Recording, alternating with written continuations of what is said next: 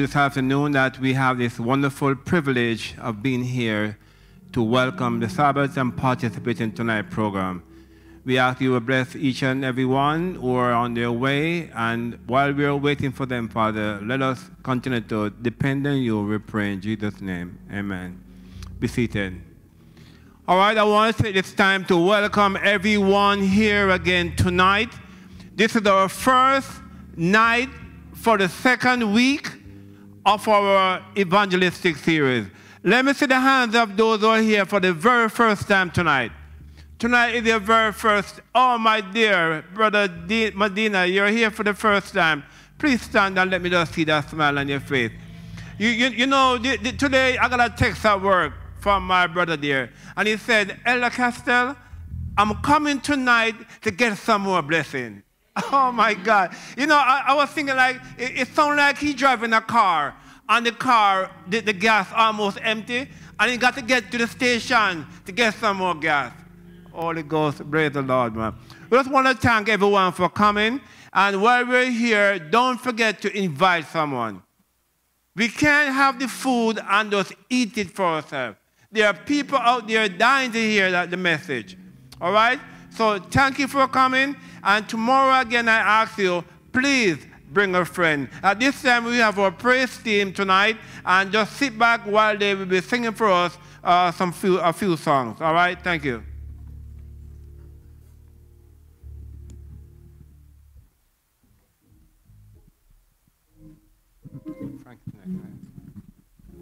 Happy Sabbath, church. Happy Sabbath. Let's turn our hymns to hymn 388. Don't forget the Sabbath. Don't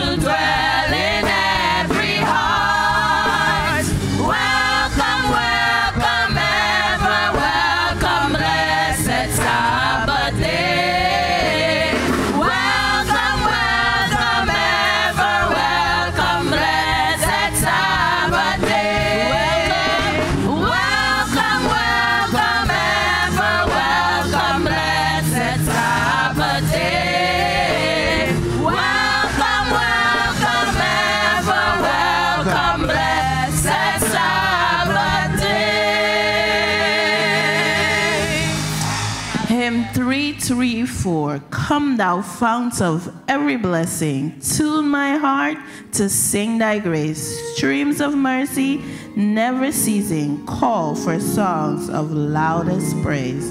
Hymn 334.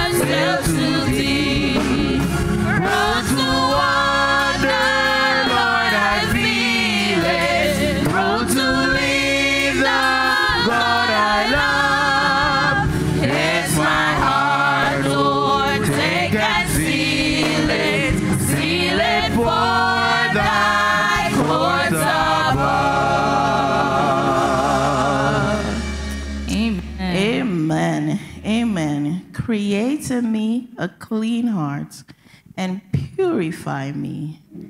Create in me a clean heart so that I may worship thee. And I pray that this is your prayer.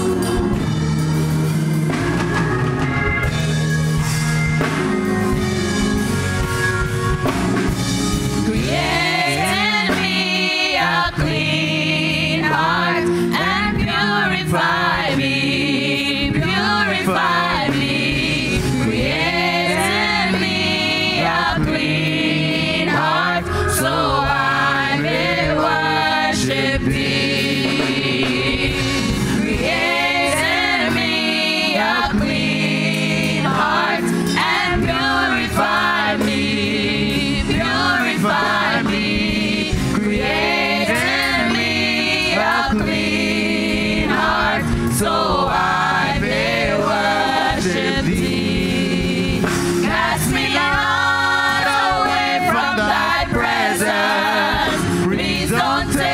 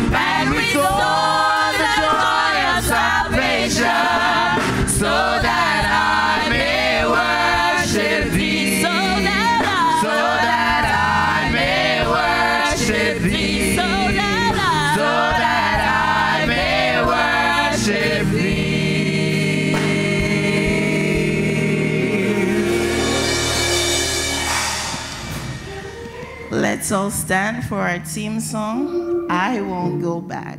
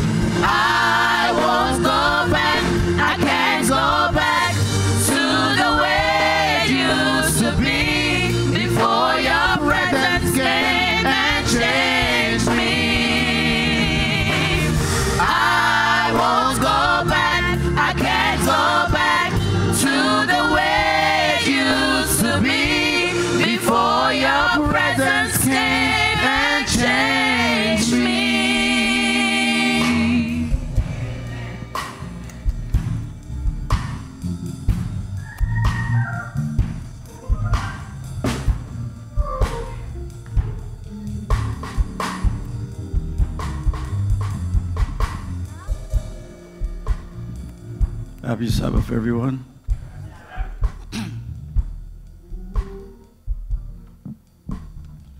This text came from Revelation 5. I'm reading from 1 to 5. And I saw in the right hand of him that sat on the throne a book written within and on the backside sealed with seven seals. And I saw a strong angel proclaiming a loud voice, Who is worthy to open the book and to loose the seal thereof? And no man in heaven nor on earth, neither under the earth or was able to open the book, neither to look thereon. And I wept much, because no man was found worthy to open and read the book, neither to look thereon. Five. And one of the elders said to me, Weep not. Behold, the land of the tribe of Judah, the root of David, hath prevailed to open the book and to loose the seven seals thereof. Here endeth Revelations 5 1 to 5.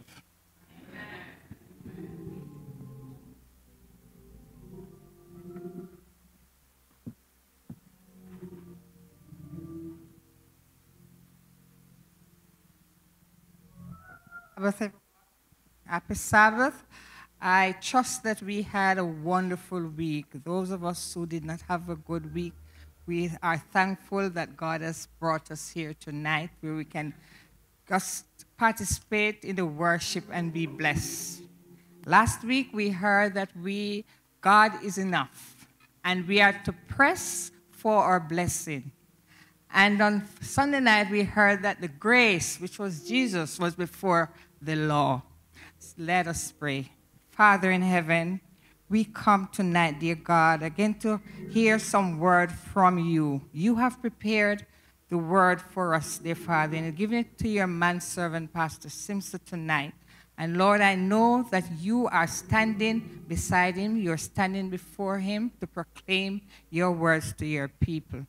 We ask, dear God, that your Holy Spirit will tabernacle with us tonight. I ask that angels will go through the pews and touch each one of us, dear Father, and help us, dear God, that what we heard tonight will make an impact in our lives. Father, we want to thank you for those that are visiting with us tonight. It's not perchance why they are here, dear God. They too want to know you as their Savior. We ask that you'll pronounce a blessing upon them, dear God. And Lord, I ask, dear God, that as your word go out tonight, Father, souls will be pricked, hearts will be blessed, and men and women will come to know you and call you blessed. Help us, dear God, that as we hear your words tonight, we will not leave here the same way we came. And Lord, we know that this is the beginning of the second week, and there's more in store for us. So help us, Father, that we will come empty so that we will be refilled. In Jesus' name we pray with thanksgiving. Amen.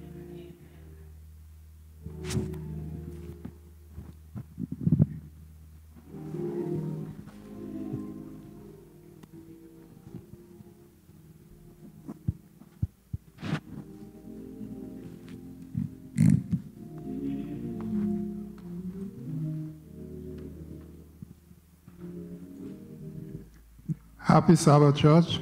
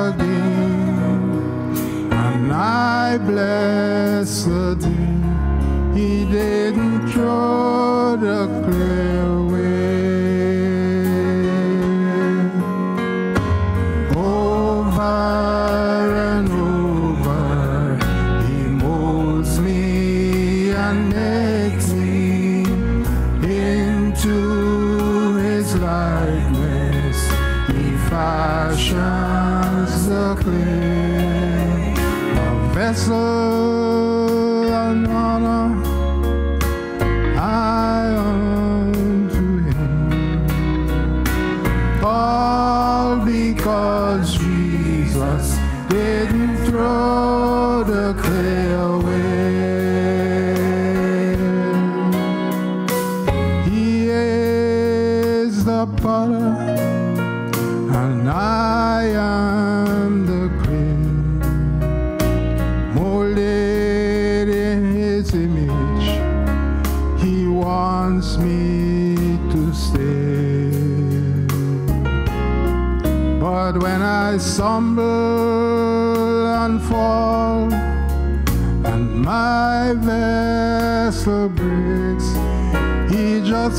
Just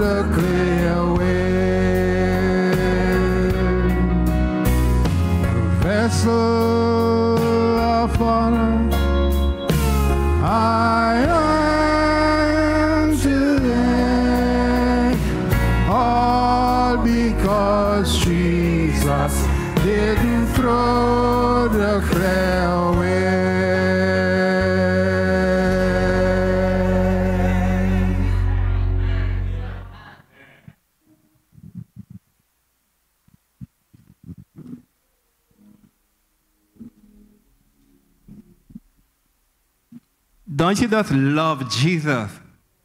He didn't throw the clay away. When was the last time you looked in the mirror, really close on yourself, and you said, Is there another one like me? No. There's only one Patrick. And I'm happy for that. Because you couldn't control two Patrick. Listen, it's time for our offering. Now we ask that you make an effort. I told you last week, be intentional in giving towards this project. The ushers are here waiting, and our praise team will have a song to sing. And as they come forward, I want you to just say a prayer and make a contribution. All right? Praise team.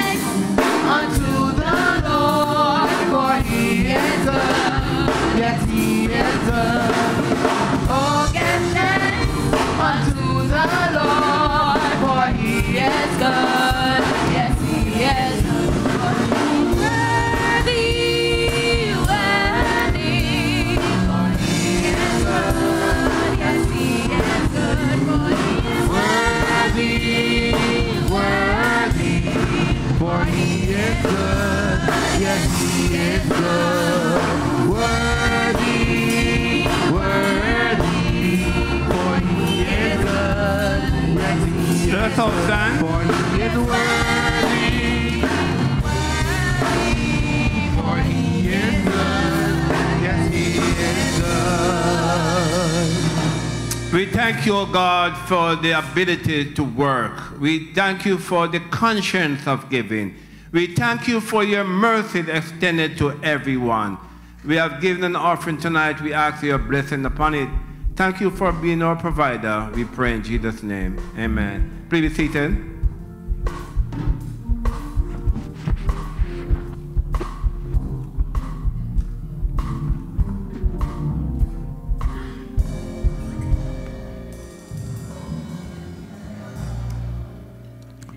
Happy Sabbath, everyone. Uh, let me try it again. Happy Sabbath, everyone. It's good to see those of you who have turned out for the start of our second weekend of our Experience the Change evangelistic series. last week we got off to a hot start, wouldn't you say? Um, but I think this week is going to get hotter. Um, my the speaker this weekend is a friend of mine, Pastor Carl Ming. I met him several years ago, maybe about 20 years ago.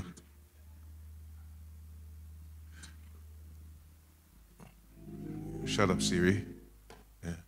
Um, I met him about 20 years ago um, when I was pastoring the Sharon Church. We were just reminiscing upstairs in the office, and um, we both had to remark how time has flown.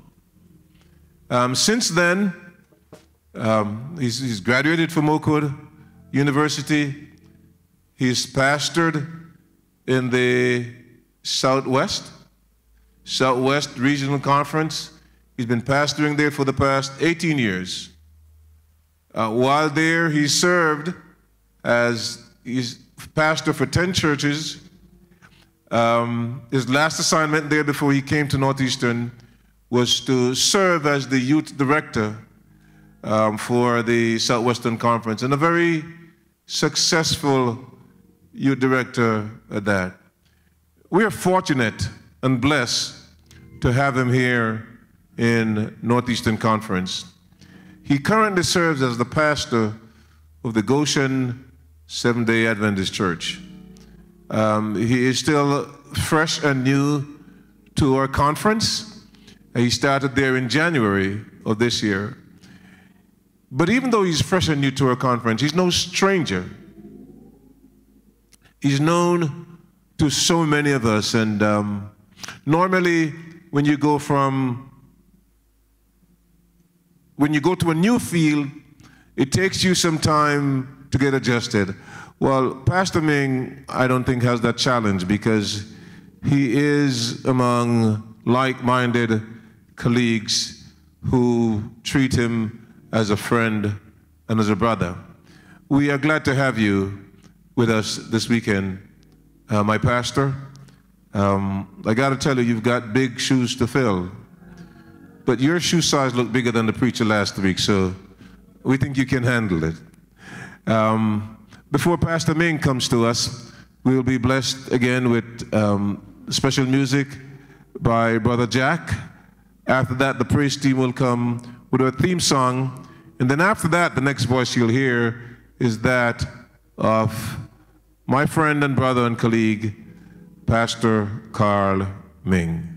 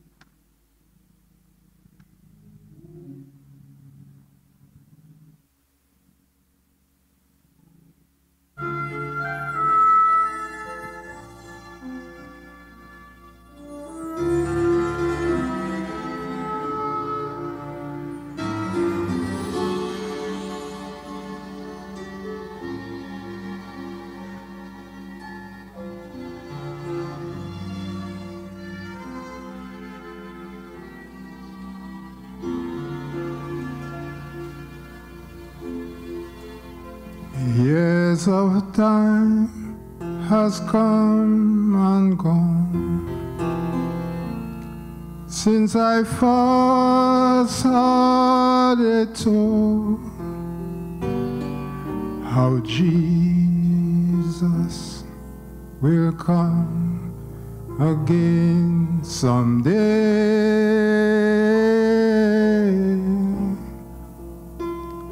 If back then it seems so real, but I just can't help but feel how much closer His coming is today.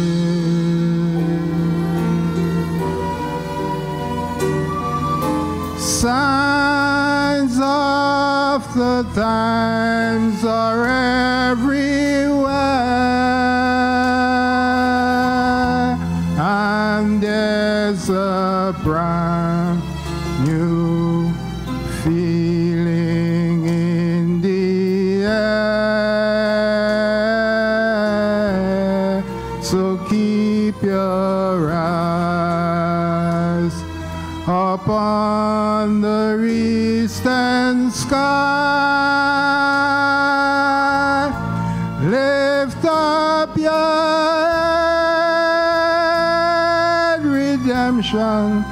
draweth nigh.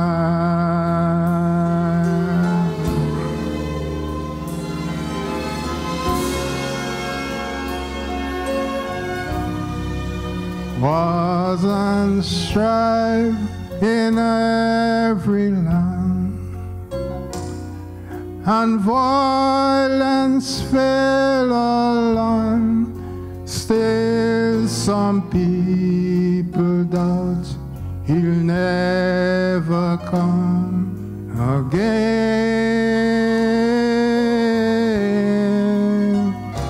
But the word of God is true. He will redeem his truths and few. So don't lose hope. Soon Christ Jesus will descend signs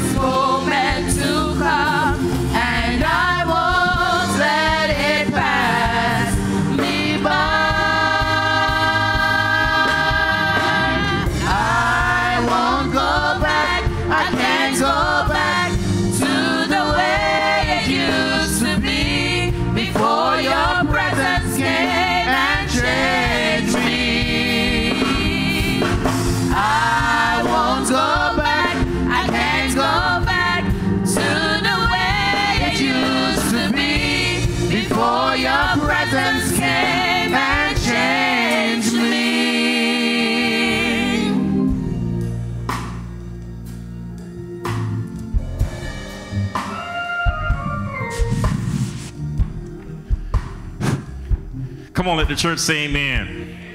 I'm going to try that again. Let the church say amen.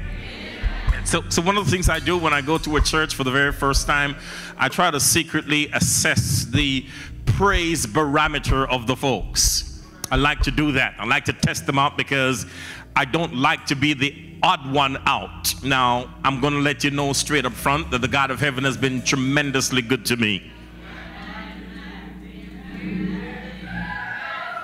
Thank you, sir. Thank you. I, am gonna say it again. I said the God of heaven has been tremendously good to me. So, so when I walk into His presence, I have a tendency to just lose my mind in the presence of Jesus.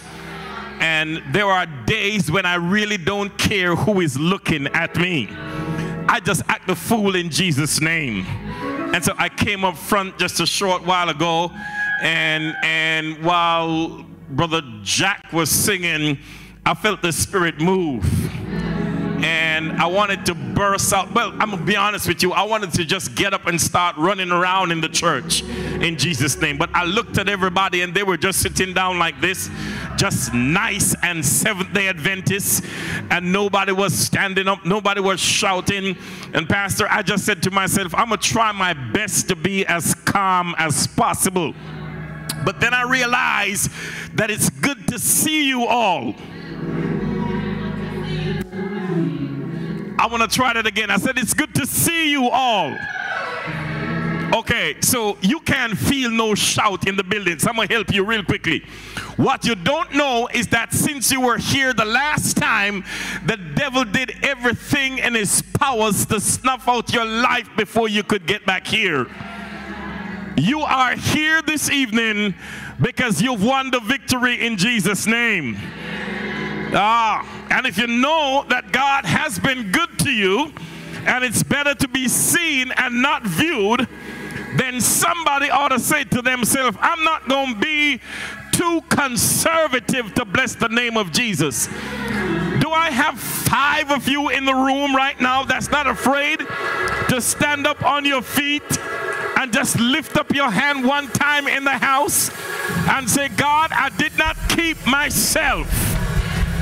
I was not careful enough. I was not cunning enough. I was not crafty enough. I was not scrupulous enough. It was because of your goodness and your mercies why I'm here. Come on, put your hands together and bless the name of He who was and is and is to come. I know it's a Friday evening, it's a Sabbath night, and I traveled all the way from Hamden, Connecticut to be here with you this evening. And when I put it in my GPS, it said two hour and 59 minutes. And I said to myself, God, I don't need nothing more. All I need is your grace and your mercies to get there on time and your spirit to fall on me afresh so that I can speak the truth, the whole truth, and nothing but the truth. And so I'm on a God assignment on tonight. Let's put our hands together for the man of God, Dr. Golden. He's been a friend of mine who did everything in his powers back in the day so that I could celebrate with the folks at Northeastern Conference. And I saw over yonder and I said to him, Doc Golden, give me a couple of years. I'll be with y'all soon. It took us 18 years, but by the grace and the mercies of God, I'm here. I am here. Thank you, Jesus. I'm here in the building, and I, I want to take this time to bring you greetings from the Goshen Temple SDA, Goshen Temple SDA Church. I know I'm here, and I know you have home court advantage. But allow me this one time just to say that this is Goshen Temple is the best church in the borough of Brooklyn. Can I say that and y'all don't stone me? Oh, yeah, yeah, yeah. Just this one time. I'll say it and then I'll write it on something and slip it on a pew when I'm leaving tomorrow evening. Lest you forget that that that that we are just about five miles away from here. And i also want to bring you greetings. My wife and kids could not be here with us this evening but i want to bring you greetings from my family there somewhere casting this on a television screen making it big and bold and they're huddled up together and they're going to be doing a holy dance in a room this evening somewhere somehow. And so I praise God for his grace and his mercies. I feel like I'm in the house of God tonight. When I came in, the praise team was singing, I won't go back to the way it used to be. I'm not a singer, but th- that's what they were singing. And I was getting ready to enjoy the song. And then the prayer team called me to pray. And I love praying. But, but, but I was saying to myself, Uh, for the first time in my life, I felt like I wanted to make a decision between celebrating the song and going for prayer. And while the praise team, I'm, i got to fess up, I'm in the house of God. While the prayer warriors were praying for me, I was trying to ease my ear to the door to listen to the song. And I received the prayer, and I feel much stronger after we finish praying. And I feel like God is going to do a mighty thing tonight in his house.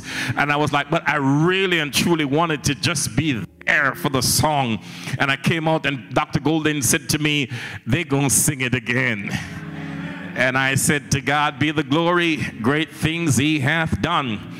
I'm not a thief or anything like that. I'm not a thief. I never grew up stealing anything. I never did that. Um, and, but I love y'all's musicians. I love the musicians.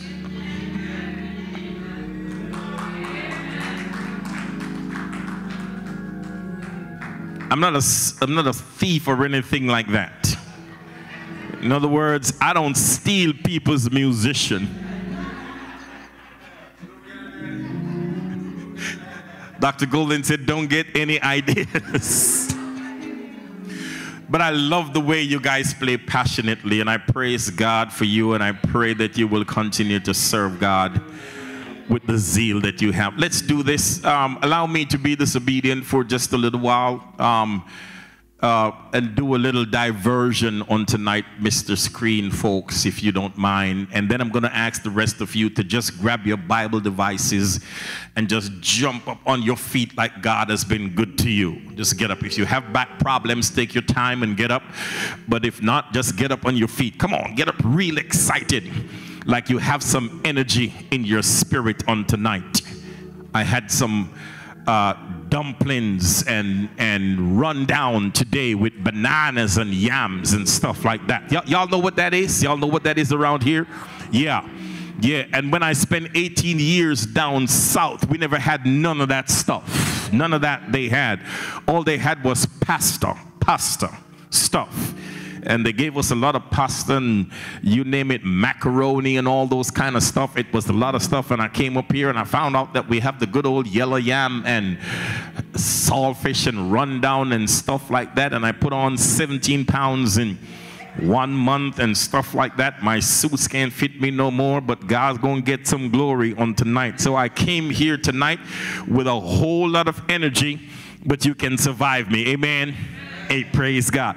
Turn the Bibles with me to the book of um, Psalm, Psalm 34. We were going to go to uh, Revelation, but can we do Revelation tomorrow? Can we do that? Is that all right with y'all? Can we just step back and just let the Spirit do its thing in the house tonight? Is that all right? Psalm 34. That's where I'm trying to go tonight. Psalm 34. I- i- If if we you have your Bible devices, right? Psalm 34. And I want to read something to your hearing that's going to be um, catapulting our message tonight. Psalm 34. Say that with me. Say Psalm 34. Yeah, Psalm 34. I want to read verses 1, 2, and 3 in your hearing, but I want to point something to your attention before we read it. Psalm 34. And I want you to look at the portion with me that is in bracket. It might be in bracket, or italics. That's what it says. Uh, it- it's the portion just before this part. It says, a psalm of David. Can you see that in your Bible? A psalm of David when he changed his behavior before Abimelech, who drove him away and he departed. How many of you see that in your Bible? Say, I see it. Say, I see it too. Yeah, uh, yeah, a psalm of David when he changed his behavior before Abimelech, who drove him away and he departed. And now we get down to verse 1, which is on the screen. It says, I will bless the Lord at all times, and his praise shall continually be in my mouth. My soul shall make her boast of the Lord.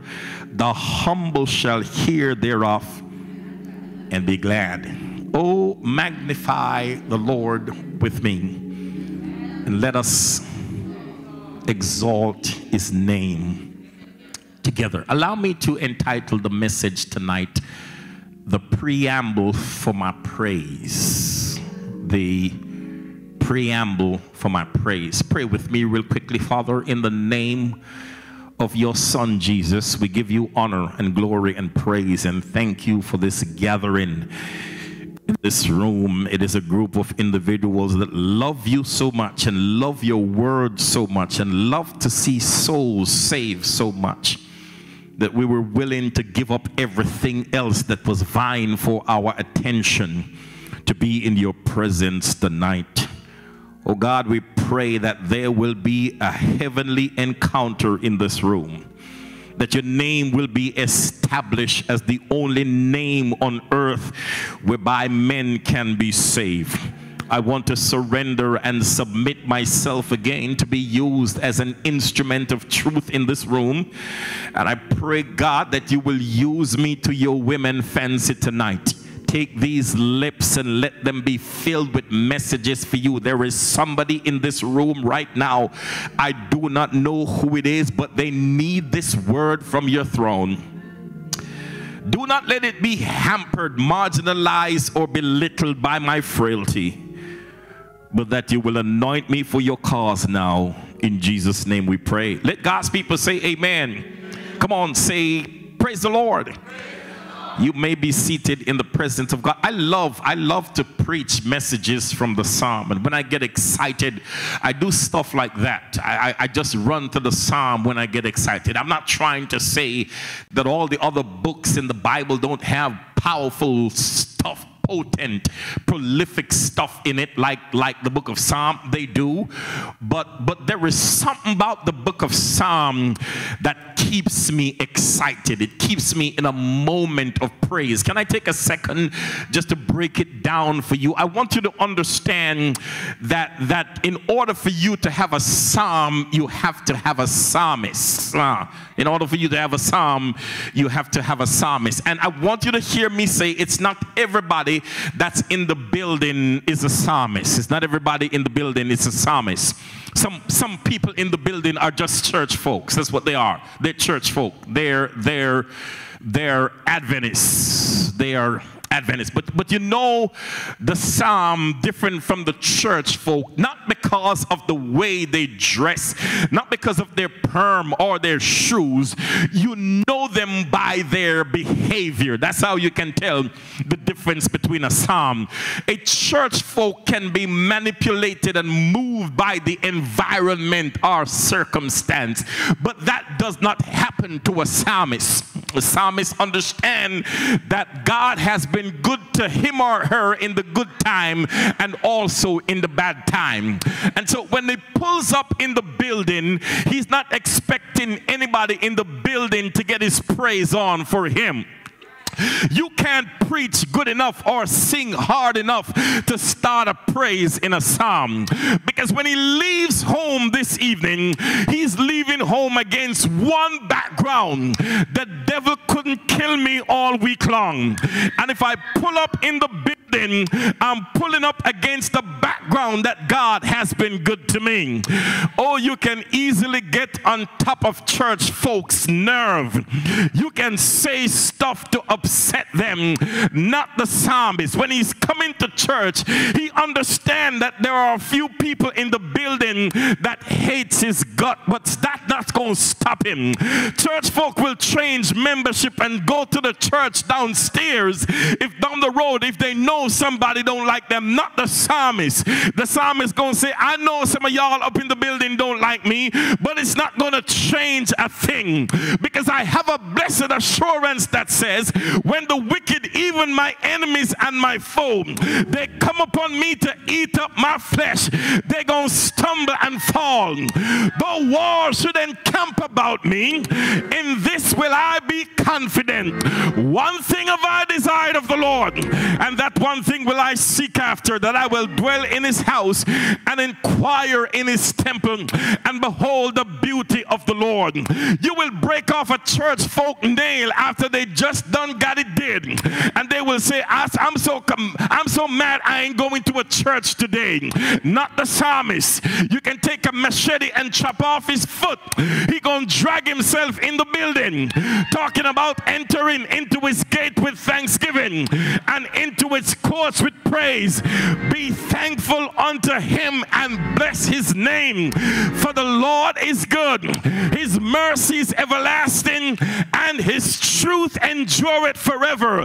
Because he understands that praise and worship is not about him, it is about God. I'm, going to throw it out again. I said he understands that praise and worship is not about him, it's about God. Here is what the psalmists know. The psalmists know that last night while he was asleep, there was demons around his house trying to snuff out his life. And he only made it to the sun this morning because while demons were outside around the house, goodness and mercy was on the inside in the room. And he said himself, if God's going to keep me, I'm going to praise him. Who, who am I preaching to? Who am I preaching to in the building? And so, what you want to do if you want to enjoy the Psalms so they come more alive unto you. Look at the preamble. Look at the preamble. That's why I don't mess with folks in church. I come from a place way down south for 17 years. Folks would break out and act the fool in church. They would be running around in the sanctuary and ain't nobody chasing them. They would get to a place where they start doing holy dance and stuff. And people would come up to me and people used to say, Pastor, they're creating a scene. Tell them to sit down and shut up. I ain't getting in nobody's way because I don't know what God brought you through all week long.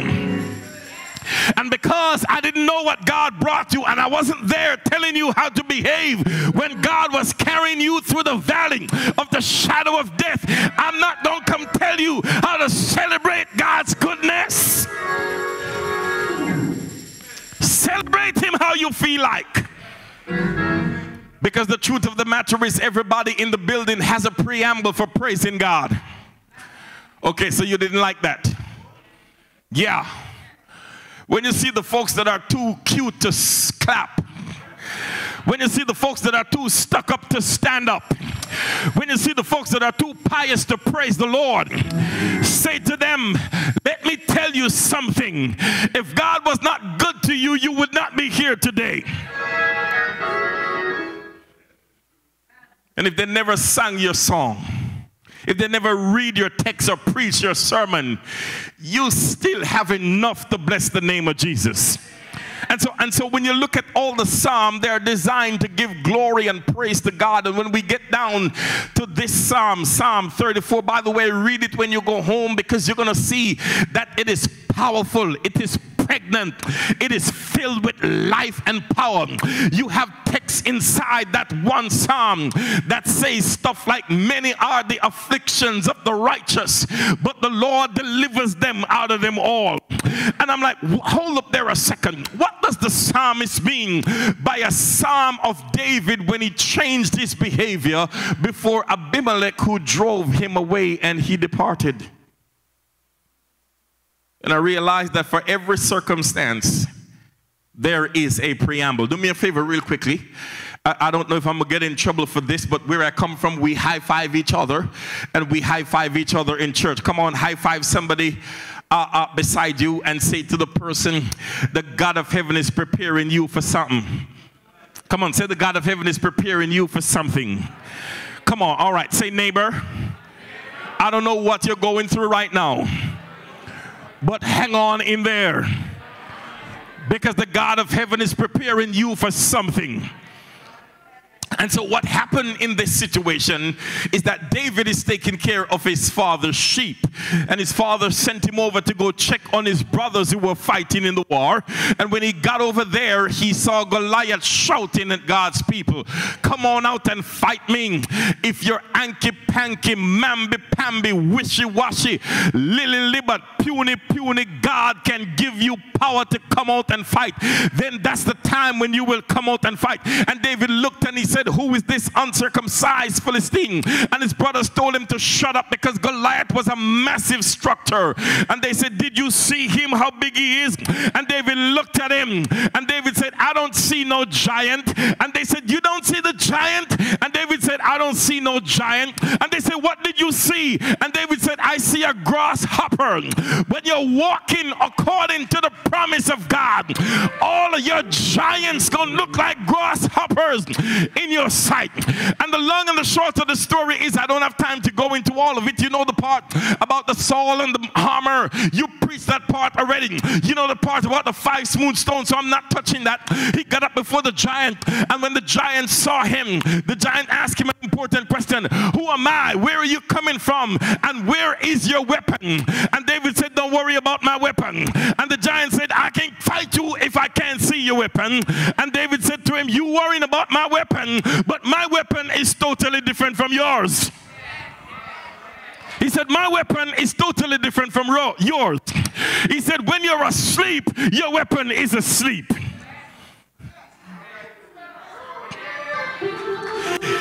But I got a weapon that neither sleeps nor slumber. He said, I could easily run away from your weapon. But if you take the winds of the morning and dwell in the uttermost parts of the seas, my weapon is going to get you. He said, You got to carry your weapon around, but my weapon is carrying me because the weapons of my warfare, they are not carnal, they are mighty to the pulling down of some strongholds. And the story helps us to understand that when when when when he heard that he rolled his helmet back, you know this part too, when he threw a stone, knocked him in his head, and he fell down and he ran up and took his own sword and cut off his head. And the Philistines start running and they chased them down. And that day they killed 10,000 Philistines. And some psalmists were in Israel. They wrote a chant. Oh, I wish there were some folks in Cornerstone tonight that likes to write a chant. When the God of heaven has been good to you, you need to learn how to write a chant, somebody. I wish you were here with me on this evening. Just get up in the morning, and if you see breakfast on your table, just make up something and start singing. Even without having any musician, just make it up and start singing. And when you get to work on time and you realize that you could have met in an accident and die, but the God of heaven kept you to reach there safely, just bounce up in the room and make up something and just start singing it to the glory of God. And so when the folks realized what had happened, they made up a song and they started to sing. And it said, Saul slain his thousand, but David slain ten thousand. And Saul didn't like the song. Didn't like the song. He he was hating And his jealousy turned into hatred. His hatred turned into anger. And his anger turned into bitterness. And what the Bible tells us is that a spirit of depression was resting on Saul. Do we have any psychologists in the room? And a psychiatrist in the room? One, just one. You, you, we're friends because we, we good. But there was a time, folks, when uh, psychiatrists never used to deal with our struggles because everything came underneath the banner of spirits. It was a spirit of jealousy, it was a spirit of anger, and it was a spirit of bitterness. And one of the challenges that we have today, I'm off to start the car because last time I said this, I almost got stoned for it. We're trying to counsel stuff that needs to be cast out.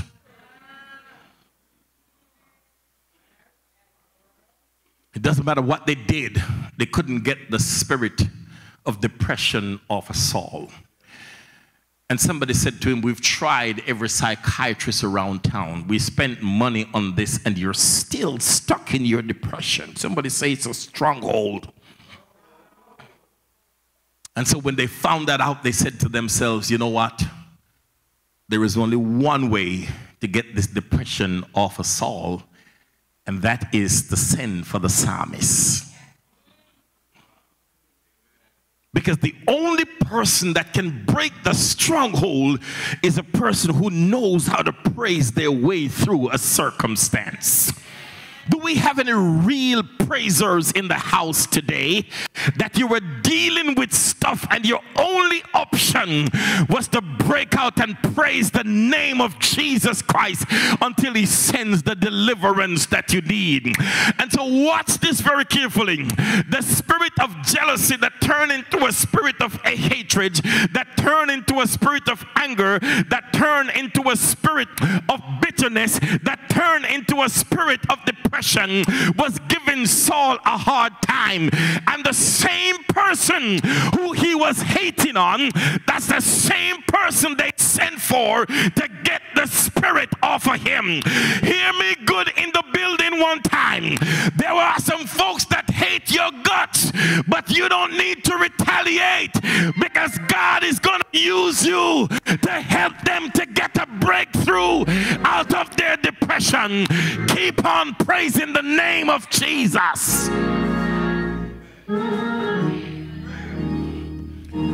And they sent for David, and David came in and started to play on his harp. The Bible said his job description as a psalmist was to help Saul to get a breakthrough through the circumstance. But I'm going to tell you the truth in the building tonight some things are just strongholds. And they didn't come in last night. It's going to take a while to break some of them. And so the spirit that was on Saul made him rose up. He took his javelin and he tried to kill David. When they threw the javelin at David, it didn't hit him. But David left the church. He did. So, Psalm 34 was written after all that I'm telling you right now when you go home, grab your Bibles and turn to 1 Samuel 21 and start reading from verse 10.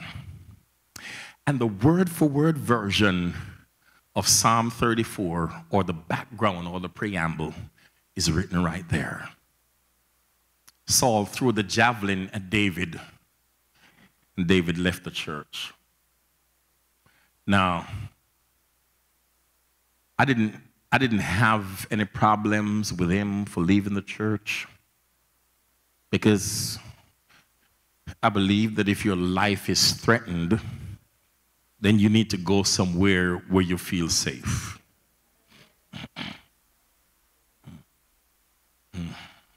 Ain't nobody gonna say nothing on this part that I'm preaching, but I know it's the word of God. I'm preaching it. And so what you need to understand is that the church need to become a safe haven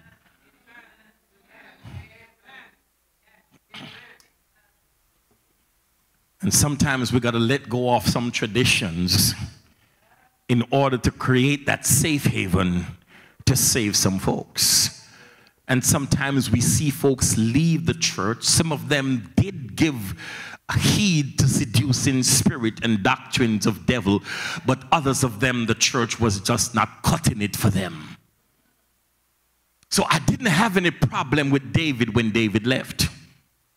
Here is my problem with David. This is not his first rodeo with enemies. He was out there taking care of his father's sheep, and a lion came, and David didn't leave. He stood up and fight. Another day, a bear came, and David didn't leave. He stood up and fight. Another day, Goliath came, and David did not leave. David stood up and fight. Now, David, I don't know if you're hearing me tonight, but if you can stand up and fight a lion, if you can stand up and fight a bear, if you can stand up and fight a giant, then sure enough, you can stand up and fight us all. You went to work all week long with some people that you know they hate you, but you still turn up on Monday morning. You could have stayed. You're in an abusive relationship sometimes, and you could have walked out of it, but you did not. You stayed. You could have stayed.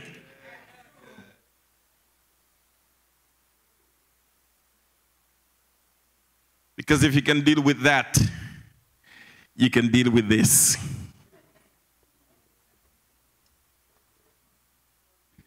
Somebody said to me the other day, Doc Golden, they said, uh, they said to me, uh, Pastor, the pandemic did us bad. Some folks didn't come back to church after the, after the pandemic. And I said to the person, the pandemic didn't do anything to us. Hmm. I said if the folks wanted to come back, they would have come back. You can't say much on this because people are out there listening and you don't know who is listening. But the folks who didn't come back, the pandemic didn't stop them from going anywhere else that they were going. They went back to the office. They went back hither to and yon. They went back to everything. The only place they didn't come back to. Yeah. And so David went down to a place called Gath. And he found a guy that your Bible said his name is Abimelech. Say that. Abi Melech. Say Abi Melech. But when you read 1 Samuel 21, that's not his name.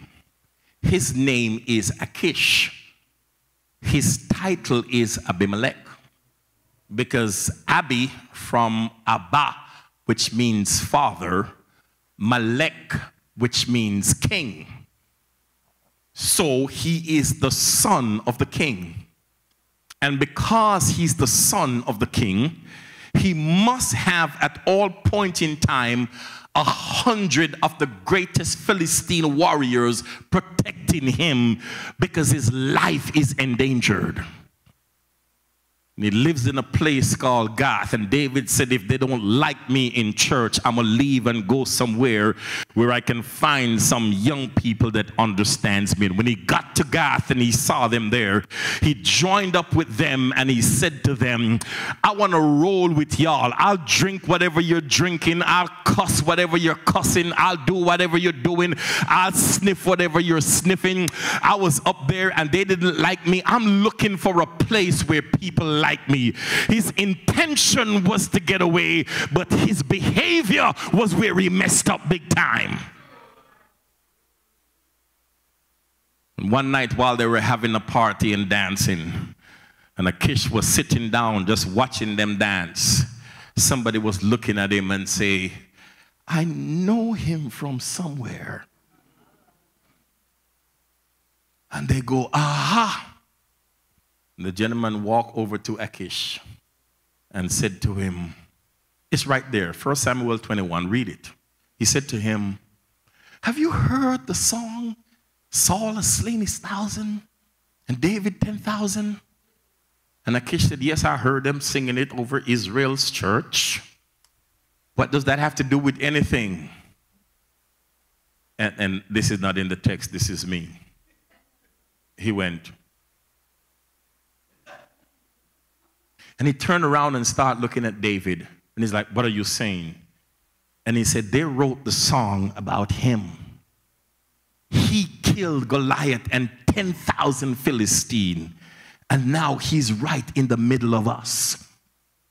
And when they heard that, the music stopped. And all 100 warriors drew out their swords, rested on their hands, their javelin, and pointed in his direction like this. And they were waiting on Achish to say, Kill him where he stands. And David is standing up in the middle, and as all that he could turn around and see was javelin after javelin after javelin. He realized that he jumped out of the frying pan. You are safer in the house of God. I don't care what they did to you. You are safer here. Because the devil's got some stuff out there for you that you ain't seen yet. He realized that he jumped out of the frying pan and jumped into the fire. But the good thing about David is David knew how to praise God. And so when you read the text, the Bible is going to say to you that he feigned himself mad and spit start coming out of his mouth. I do not believe that. I believe that David was a crazy praiser. And he said to himself, I remember what I did when the beer came. I broke out into praise. I remember what I did when the lion came. I broke out into praise. And I got no choice this time but to lose my cool and break out praise in the name of Jesus. And while he was praising the name of God, the Spirit of God came down and stood up beside him. They wanted to kill him, but they couldn't touch him. You know why? When the praise go up, the blessing come down. And we serve a God that likes to inhabit our praise.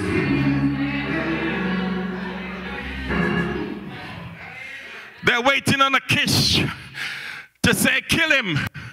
But he can't give the command because the devil is not in control. Oh, I wish you were with me tonight. There were days when the devil wanted to kill you, but he couldn't touch you because when he pulled up on you, you had the Spirit of God standing up beside you to protect you. I heard somebody say, The love of God will enfold you, the power of God will protect you, the Spirit of God will watch over you. Wherever you are, God will be, and everything will be all right.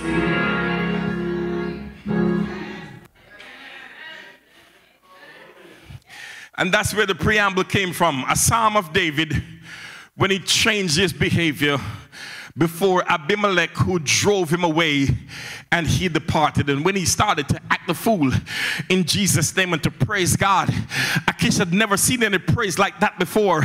And he said to him, Leave. And the warriors are like, What do you mean, leave? We can kill him right now. And he can't give the command to kill him. He kept on saying, Leave. And David was backing out of the crowd and he's looking at them like that. And he said, Hold up there a second second. When the bear came, the bear, bear couldn't kill me. When the lion came, the lion couldn't kill me. When Goliath came, Goliath couldn't kill me. When Saul came, Saul couldn't kill me. I got a hundred Philistine warriors around me and they can't kill me. Why am I losing my mind over stuff that I got no control over? He pulled up the cornerstone on Sabbath morning and he bust the door open wide and he declared verse 1 in the church when he said, I will bless the Lord at all times, and his praise shall continually be in my mouth. The humble shall hear thereof and be glad. And then he called the brethren in church. He said to them, Come magnify the Lord with me and let us exalt his name together. I looked up the word magnify before I came here tonight, and the word magnify means to make bigger or to make greater. But then I understand that you can't make God any bigger or greater than God is. And so the job of the magnifying glass is not to make the object bigger, but to make the appearance of the object look bigger. So God is saying to us tonight, I'm not asking you to make me look bigger. I'm just saying to you that there are some folks in your life that's got a very midget and dwarf definition of who your God is. When they look through you, they should see a bigger picture of who your God is. I grew up in a place called Portland, Jamaica. We never had much toys. We had to save money and buy toys for ourselves. We would start saving from January 1. And during the summer period, June, July, August, the sun was as hot as it could come. One day, my brother came to me and he said to me, uh, uh, uh, How many of you are from the West Indies? If you're in this building, I'm going to use a couple of words, and if you've never been there, you probably won't know what it means. It's a word called obeah. Obeah. Yeah, for y'all Americans, it's voodoo. Voodoo. You heard voodoo? Yeah, it's the same thing. We just call it something else. And my brother said, I, I know how to work some obeah. And I'm like, you can't work no obeah. And he said, okay, let's make a deal. If I can work the obeah, then you have to give me your piggy bank. Remember, we're saving for Christmas present. And it is August now. So I got a good little savings up to go buy myself my Christmas gift. And he said, if I can work some some obeah, then you'll have to give me your, your piggy bank. I'm like, sure, but if you can't do it, then you're going to have to give me yours. He said, deal. We went outside and he took a piece of paper, a blank sheet of paper. He put it down under the sun, reached into his pocket, and he took out a magnifying glass and he said, I bet you I can set fire to that paper without touching it. I'm like, you're going to throw a match on it? He said, no, I'm not going to use any match. I'm just going to use this little piece of glass in my hand right here. I'm like, man, whatever. He stood up over the glass with a piece of, stood up over the paper with a piece of glass in his hand, and he held it up over the paper, and it was there. And I'm looking, I'm like, man, give it up. Ain't nothing going to happen. Just give me the piggy bank and let's leave. Let's go. And he's like, hang on, hang tight. Don't move. Don't stay, stay where you are. And I turned away and started to play with my marbles because I'm like, I'm going to give you all the time, but at the end of the day, I'm going to have two piggy banks. So I'm gonna hand up with. And then he said, Look, look, look, look, look. And I turned around, Dr. Golden, and I looked, and there was a brown spot on the paper, and it started to smoke, and it actually catch fire. I almost lost my mind. I ran inside and I told mom, I said, Mom, my brother is outside working voodoo. Mama said, Stop that nonsense and go find something to do. Long and the short of the story, I lost my piggy bank. Fast forward 15 years later, I'm in Oakwood University doing a degree, pastoral ministry. They stuck me in a science class. And I'm trying to figure out what does a science class have to do with preaching God's word. I did pass, by the way. I still don't know the difference between ionic bond and covalent bond. One day the teacher said to me, we're going to look at the simplest form of solar energy. And he took the class outside. And he reached into his bag and he took out a magnifying glass. And he put down a piece of paper on the ground. And he said, I need to explain this to you before we go any further. And I remember what happened when I lost my piggy bank. So I said to myself, I need to see this for myself. And the professor said, The magnify, don't miss this, because when I'm done this, I'm gone. He said, The magnifying glass has the potential to harness the power from the sun and set everything around it on fire. I start packing up my books when he said that. I put them in my backpack. I threw it on my bag and I say, I'm gonna see y'all. He's like, Ming, where are you going? I'm like, class is done for the day. He's like, I'm like, you getting started, but I'm done. I got the message that I came here to get. He's like, what message is that? I said, sir, you just said the magnifying glass has the potential to harness the power from the sun and set its environs on fire. He's like, What's so deep about that? And I go, Let me repeat it again. You said that the magnifying glass has the potential to harness the power from the sun and set stuff on fire. I'll see y'all next week. He said, Where are you going? I said, I'm a magnifying glass. Got to go harness the power from the S-O-N because I got a world to set on fire. So when David said, Magnify the Lord with me, he's saying that some people are in your world that are not seeing God as big as God can be. Set the place on fire in Jesus' name.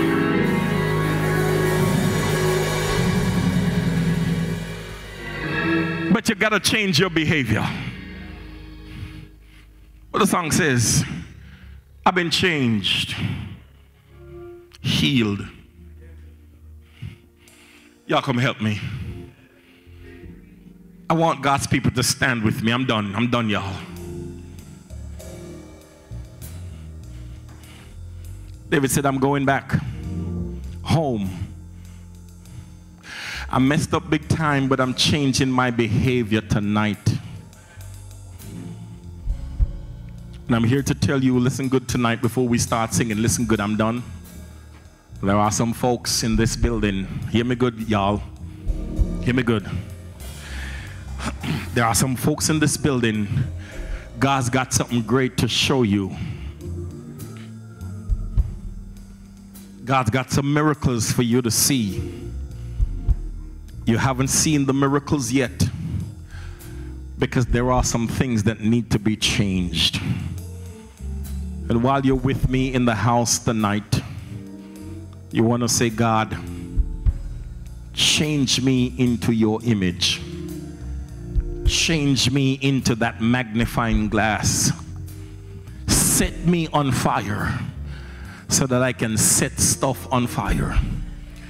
While the praise team is singing with us tonight, the message that I got from God to give to you, if you're saying in this room, God, I want to change.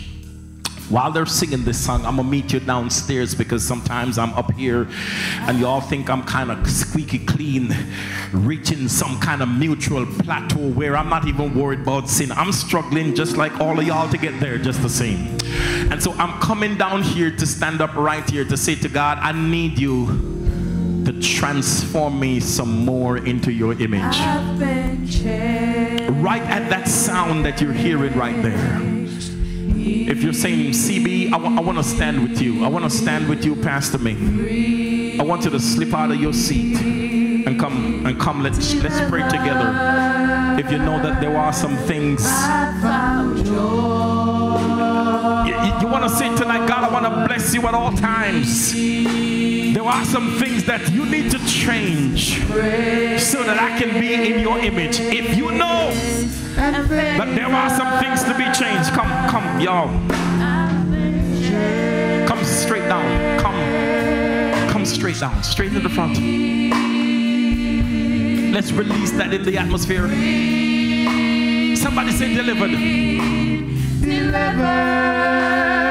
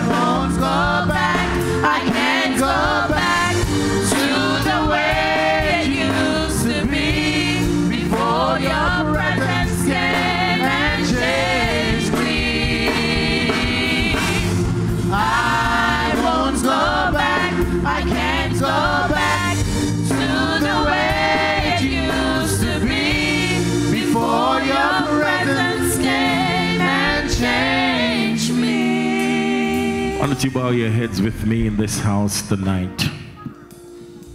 And in your own heart, begin to thank God for His grace and His mercies. I have never, I've never done this before. Never in my lifetime have I ever preached a message, delivered a message from the throne of God, and not give somebody an opportunity to say, I want to accept Jesus before it is eternally too late. Most of the faces in the room tonight, I'm seeing them for the very first time. So I can't know who is who.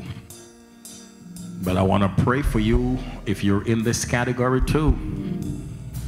If you're here tonight and you've not yet accepted Jesus Christ as Lord and Savior, all the Spirit of God wants you to do tonight is just lift up your hand like this and say, God, see my hand here. I need to do it before it is eternally too late.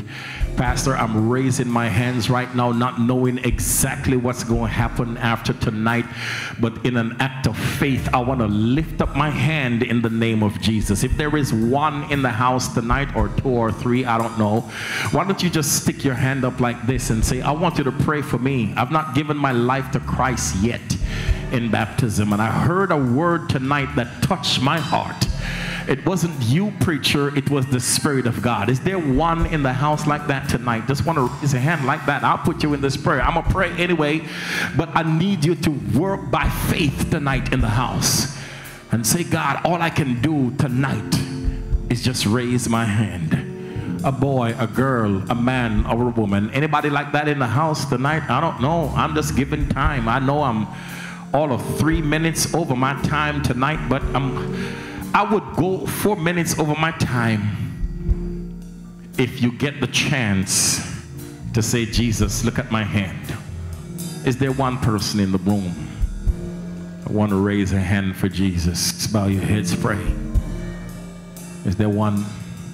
want to raise a hand for Jesus in the room? Gracious Father, in the name of your darling Son Jesus. We want to thank you for the gospel joyful sound. It still conquers sinners, but it still comforts saints. And you release this word into the atmosphere on tonight, God. And our standing, our walking out of our seat, is an indication to the fact that we are receiving it with joy. We bless your name and we tell you thanks. And we ask you, God, not just that you would recognize these standings tonight, but you will seal them not just for time, but also for eternity. We came not knowing what to expect on tonight but you knew what you were up to, and it is marvelous in our eyes. We pray, God, as our faces are different, so are our needs tonight.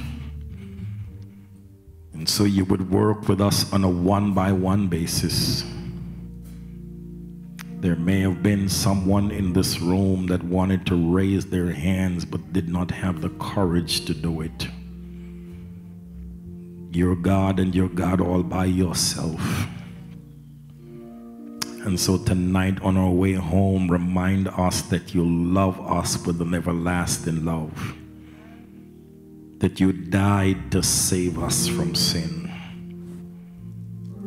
We're giving you all the honor, the glory, and the praise, and we ask that you will take us home to our destination safely. Continue to keep us, bring us back tomorrow morning as we continue to celebrate your goodness. In the name of Jesus Christ. In the name of Jesus the Christ, the one that suffered and bled and died. Let all of God's children say amen. Let God's children say thank you, Jesus. If you were blessed in the house tonight, put your hands together and celebrate with your hands one time. God bless you. Thank you so much for celebrating God's goodness with us on tonight.